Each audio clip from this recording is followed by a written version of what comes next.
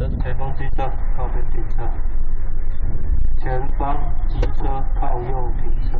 前方双载机车勇闯红灯，立刻被巡逻员警拦下，靠边靠边。那边红灯呢？他是我儿子，你儿子带儿子闯红灯出跑嘛，是吧？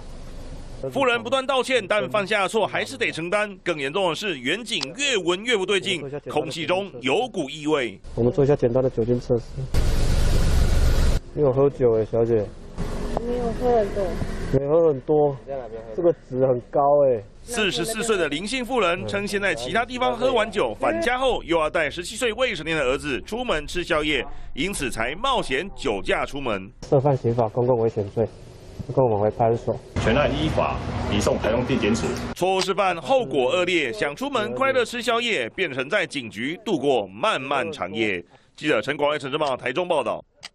我是王一仲，新闻的产业带给我满满的使命感，不论是贴近民生的议题，或是国际的话题，我都能够精确、真实传达最完整的资讯给各位观众。